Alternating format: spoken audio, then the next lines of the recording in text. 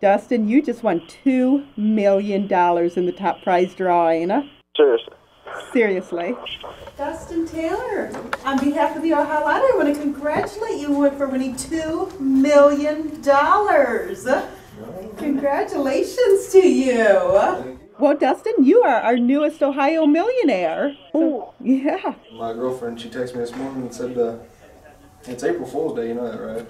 I said, uh, yeah, it is, ain't Yeah, it? they've been a pretty good April Fool's Day, right? Yeah.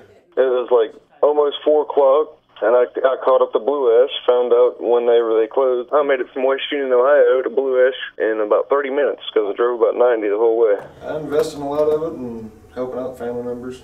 That's about it. Thank you, Ohio Lottery.